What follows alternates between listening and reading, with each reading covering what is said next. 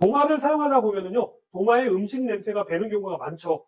그래서 요즘은요, 스테인레스 도마도 나오긴 합니다만, 대부분 나무 도마나 플라스틱 도마를 많이들 사용하실 텐데요.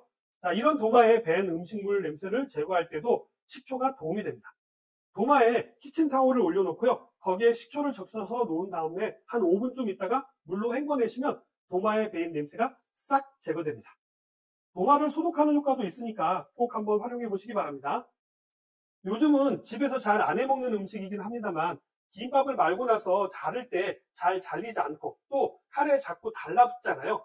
이럴 때 칼에 식초물을 발라 자르게 되면요 달라붙지 않으면서도 잘 잘리게 됩니다. 또 오이를 요리하다 보면 유독 오이의 쓴맛이 느껴지는 것들이 있죠. 그럴 때도 식초물에 오이를 썰어서 담가 두시게 되면요 쓴맛이 싹 사라지게 됩니다.